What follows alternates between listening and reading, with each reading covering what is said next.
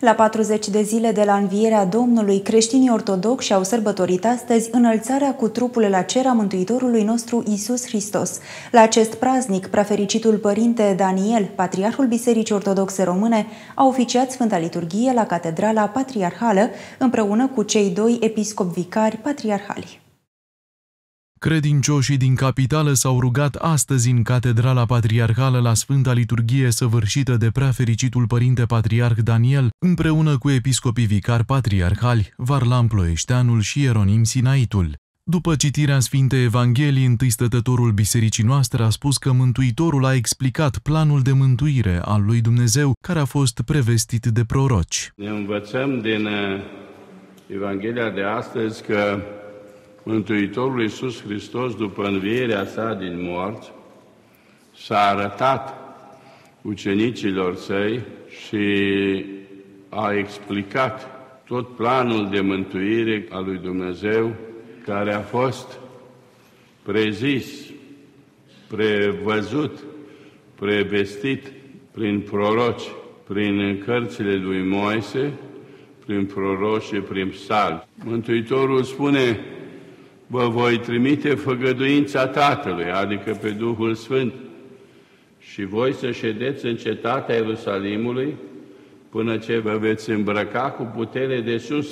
Aceasta înseamnă că nu puteți pleca la propovăduire doar pentru că aveți unele cunoștințe, ci trebuie și o înduhovnicire specială, o întărire prin puterea Duhului Sfânt.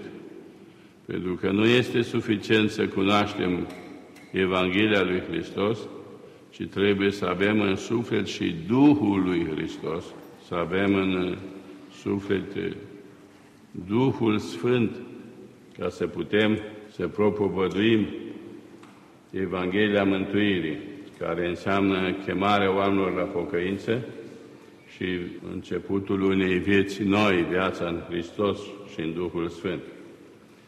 Și de ce Mântuitorul Iisus Hristos le spune ucenicilor care este planul, programul de mântuire și pregătește, dar le cere să aștepte până când vor primi pe Duhul Sfânt, adică se vor îmbrăca cu putere de sus, din cer. Și aceasta se va realiza la cinzecime, nu peste multe zile peste 10 zile.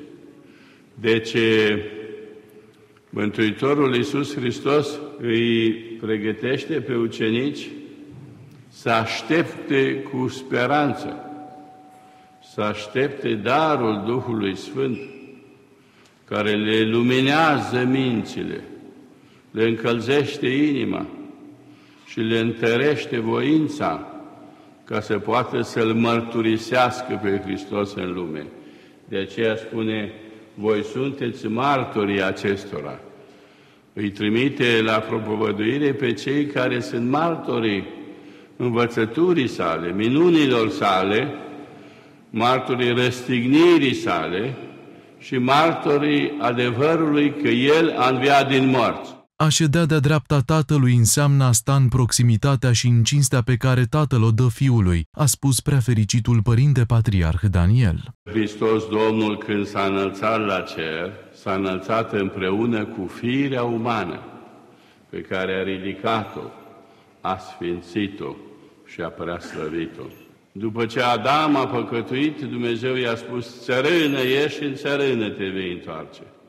Acum însă Dumnezeu Tatăl, văzând pe Iisus Hristos, omul care se înalță la cer, fiind Fiul Său înomenit, întrupat, spune, șez de-a dreapta mea.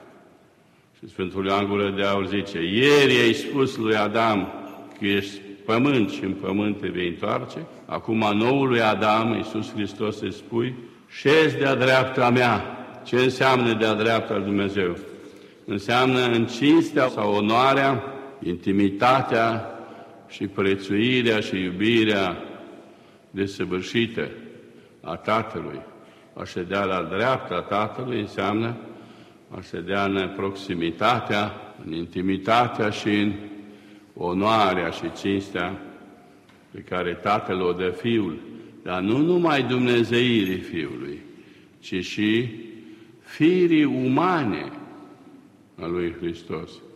Cu alte cuvinte, nu este cinstit numai Fiul, ci și natura sau firea umană pe care El a ridicat-o pe umerii săi prin întrupare, a sfințit-o și a îndumnezeit-o. Preafericirea sa a explicat și motivele pentru care Biserica Ortodoxă prăznuiește pogorârea Sfântului Duh la 10 zile după înălțarea Domnului, pentru că în fiecare zi Mântuitorul a trecut prin câte una din cele nouă cete de îngeri, iar în ziua a 10 împreună cu Tatăl au trimis pe Duhul Sfânt.